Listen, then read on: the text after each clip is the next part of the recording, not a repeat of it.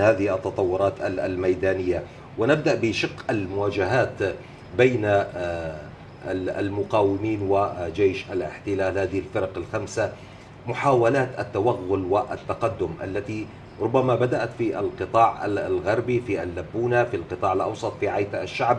لم تصل إلى أي نتيجة. ذهبوا إلى القوزح شمال عيتا الشعب. الآن هناك تركيز على آه، كفار كلا العديسة هذا المحور في القطاع آه، الشرقي بوابة آه، فاطمة.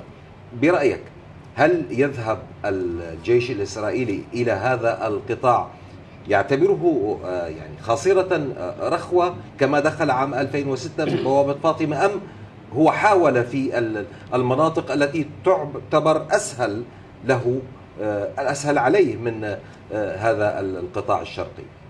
لكل قطاع ميزاته من ناحية الهجوم.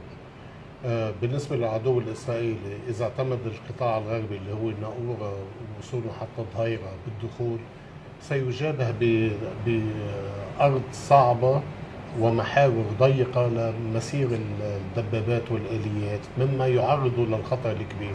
ولكن يمكن اعتماد على الانزال البحري في هذه الحالة. أوكي. تسهل عليه الانزال البحري فقط لتغطية أو وصول تغطية وصول القوات آه، بعد آه، بعض بيتفتح المحاور لا يقدر يفوت بهجوم أوسع لكن يعتبر هو الهجوم الأصعب لأنه المنطقة هي ساحلية فيها كثير آه، مزروعات وبساتين وبالتالي يمكن التخبي بسهولة للمقاومين هونيك.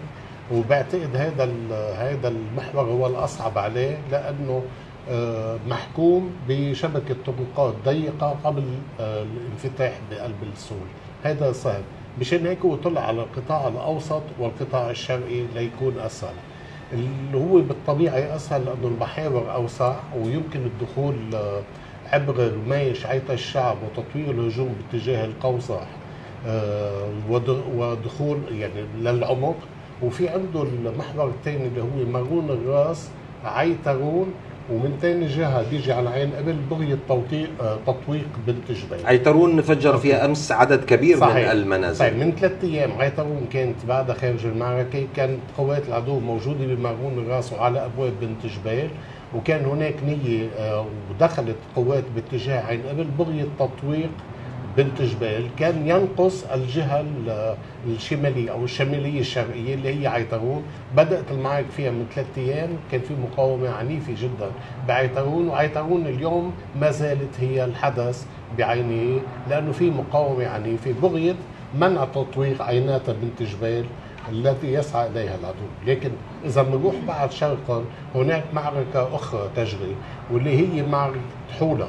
حولها اللي كانت بعيدة عن المواجهات اللي كانت هي بين العديسي وبين ميس الجبل آه، دخلت كمان بنفس الوقت مع عيتون على على المعركة من ثلاث أيام في معارك ضاريه بحولة حولة تمتاز أنها ارضها صعبه لعملية الدخول إلا أنه إذا العدو هي مرتفعة عن منطقة إصبع الجليل صحيح صحيح هي مشرفة عليها مشرفة. ومنطقة جبلية وهناك كثير من التضاريس فيها لكنها دخلت المعركة وصار هناك تفجير لبعض الأحياء فيها لكن هناك معركة فيها. وامتدادا شرقا نذهب إلى الطيبة. الطيبة اللي بتتعرض لأكثر من 10 أيام لمحاولات عدة للهجوم عن طريق آه، العديسة رب 30 باتجاه الطيبة. طيبة ما زالت عصية على الهجوم البري.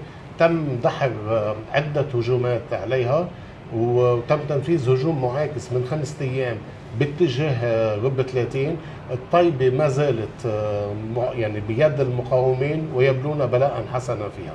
إذا بنذهب أكثر باتجاه الشرق. آه، هناك كفركلا كفركلا دخلت من جديد مجددا إلى المعركة. اليوم معارك عنيفة في صحيح كفركلا امتدادا لتل نحاس الهدف أنا قلته أول ما جيت لهون إنه في هدف تطويق الخيام. لتطويق الخيام اعتبار من كفركلا بدك تنزل تل نحاس بعدين بنروح برج الملوك بنكمل ليعة مرج عيون قبل السقي. وهيك بيتم تطويق الخيام من الجهة الغربية. وهناك بالحكم بحكم الواقع عندك مستعمرة المطلة من الجهة الجنوبية وعندك من الجهة الشرقية القوات المتقدمة من شبعك فرشوبة والتي تنحدر باتجاه حالتها لبغية إكمال عملية التطوير. نعم هذا من جهة مرتفعات ال- ال- الجولان وستكون للخيام معركة كبيرة جدا أسوة بمعركة بنت جبيل